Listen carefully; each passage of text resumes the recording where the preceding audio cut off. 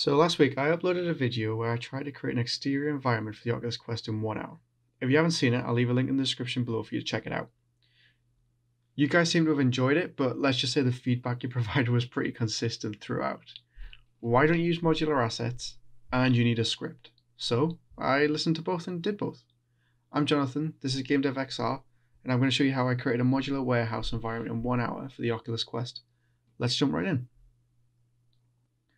Before starting, I looked online to find a timer which would stay on the screen so I could track how long was left. This was extremely useful as I wanted to make sure I wasn't spending too much time on certain things. It's also so much better than looking at my phone, which would take time in itself. I started by making making sure all the programs I was planning to use were already open. This would be Blender, Photoshop, Unreal, Textures.com. This is simply so I'm not wasting time by waiting for programs to load and it also let me jump straight into finding textures, which is where I started the timer. I knew I wanted to create an interior environment pretty early on and thought a warehouse of some kind could be like pretty awesome to do as it could have a lot of potential and was simple enough to achieve in an hour, or at least I hoped. I began looking for textures I could use in the project, finding textures like a tiled stone floor, brick walls, and even some windows. I also downloaded some metal textures as I wanted to do some more than do something more than just a floor, walls, and a roof. The goal was to use two texture atlases with a resolution of 512 by 512 since that's best handled on the Quest. One would contain the tiling textures and the second would contain more materials like metal windows and air vents. For example, I created both of these atlases by creating a 512 by 512 image in Photoshop and enabled grid snapping. This is so I can quickly bring in the textures and snap them in, snap them together. Just makes it a little bit easier than fiddling around with smaller movements.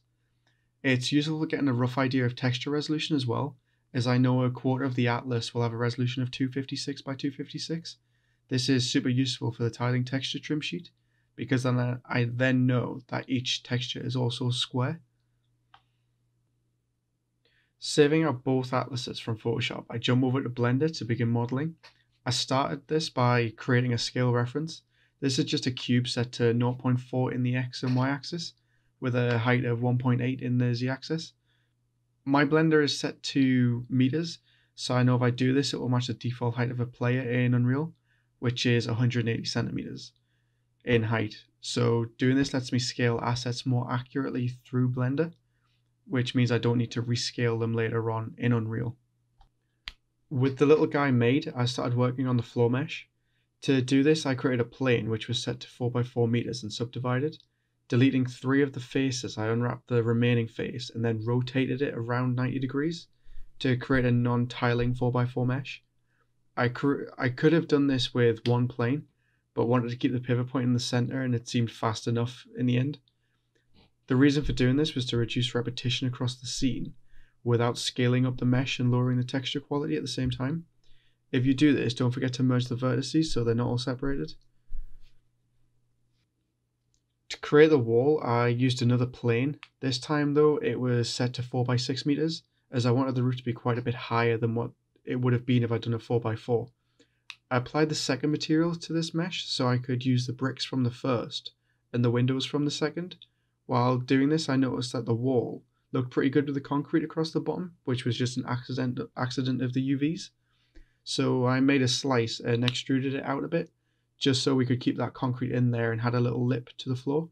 Just added a little, little bit more detail, which broke up the scene quite nicely. To try and break up the scene, I started working on a metal walkway. This was another plane, which was set to 2 by 4 meters I originally downloaded a metal texture which could be used as a floor, but forgot to add it to one of the atlases.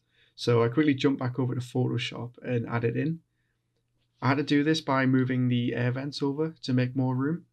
I then just resaved the texture and re-uploaded to reloaded it into Blender so I would so it would update. Then I just needed to unwrap and unwrap the plane and align the UVs, same as I've been doing with everything else. In the end, it worked out pretty well, and it didn't look too bad either. After this, I realised I didn't have anything to hold the walkway up once it was in the scene, or to make it look like it would be held up. So I started to model an I-beam. This was just a cube which I put some cuts on and extruded inwards. It looked pretty well for what an I-beam is, and then I just unwrapped it the same way as every other mesh that I've done so far, just making sure that the UVs were flat and then aligned up to the texture atlas. I tried not to make the UVs too large, so keeping too too many of them connected to one, because if I did that, I would have to scale it down in the UV island, and that would change the scale of the metal texture. So in the end, I think it came it came out looking pretty well, especially for what it needed to be and the size that it was. So far, I'm just under halfway through and decide to check over all the meshes. All I'm looking for here is that the pivot points are in the correct location, as this is crucial for snapping assets in Unreal, otherwise they'll be out of line when it comes to placing them in the world. For exporting to Unreal, I use a plugin called FBX Bundle, which is free. It allows me to batch export every mesh I've selected within Blender to Unreal Engine, all at the same time. It also means I don't have to reposition every mesh to be 0, 0 world space before doing so. This is where the scene starts coming together. With the meshes in Unreal, I changed the grid snapping to 100. This works extremely well just to keep all the meshes aligned. It also made sure there was no gaps between the meshes and made the whole scene easier to construct. It just made it a little bit easier for organization as well, as we didn't have to do fiddly little movements to try and get them to line up. I also start adding the I-beams into the scene as a way just to make it a bit more natural. It worked really well, except there was an issue with scale. I found that I made them too big. So later on, I just go back through and then scale them down a little bit. Do you have any ideas for a challenge or videos that you would like to see? If you do, then don't forget to leave a comment down below. And if you're not subscribed already, to do so. That way you won't miss any of them. And you can stay up to date with all the latest challenges and tutorials that come out on the channel. So I now have just over 20 minutes left and realize I need to start adding more details to the scene if I want to make it look half good. One of the ways I decided to do this was by using the I-beam mesh and positioning it where the ceiling slash, slash roof would be, creating some support beams. Again, I'm just using the snap tool to position them in place and then I disabled it so I could freely rotate and move them between the beams that was already there. This was just to make the scene look a little bit more natural according to real world warehouses that I've seen in the past.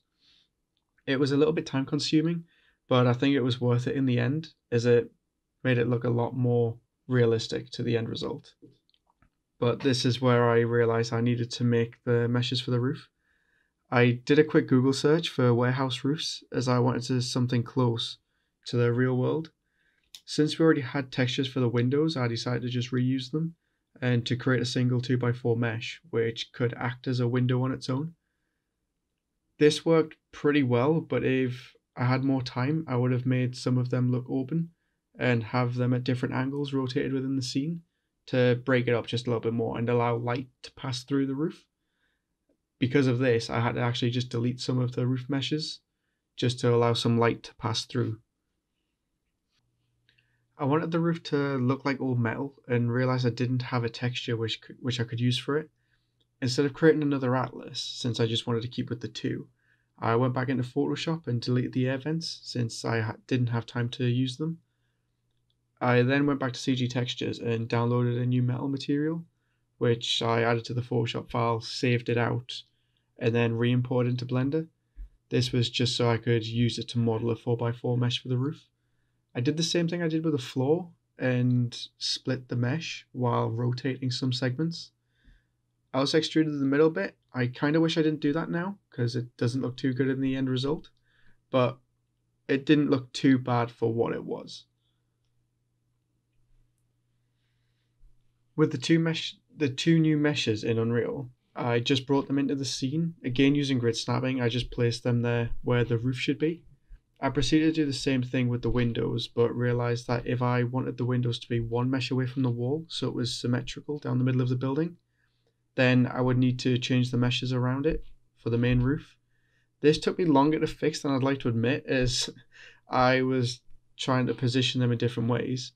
But then I just realized that I could scale the mesh in the center or lengthways by, uh, I think it was 0.25 units in Unreal. That way it would actually provide the two windows down either side while the roof in the middle. And then I just simply went on to do a light build to try and get some nicer lighting. At this point, I realized with five minutes left that the light was bleeding through. So I just, I selected every mesh in the scene and of to use two-sided static lighting while also increasing the light map resolution.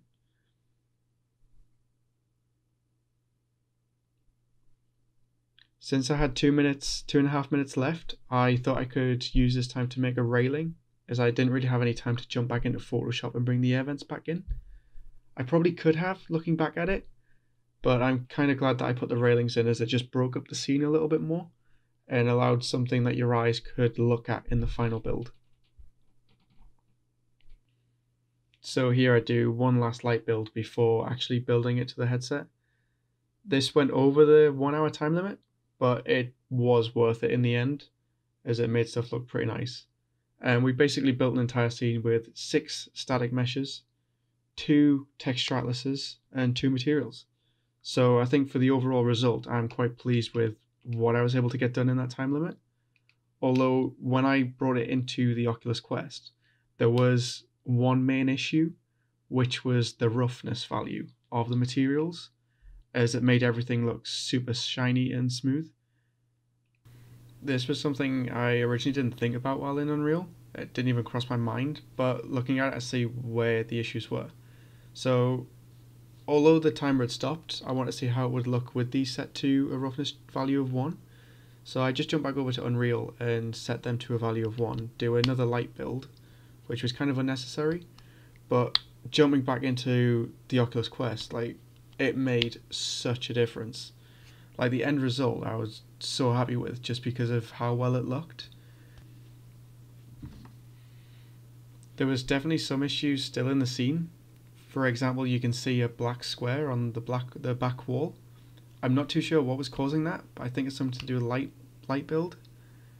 But uh, apart from that, I think the scene worked out relatively well. There's still some blurry textures on the bricks, but for the fact that we're doing this on mobile, I'm still quite pleased with the end result. Thinking about this now, I could actually disable mipmaps within Unreal Engine and that might actually sharpen up the textures. This is just something to remember for next time. If you enjoyed this video and want to see more videos like this, then don't forget to hit like and subscribe. If you didn't, hit that thumbs down button. But until next time, stay safe and I'll see you then.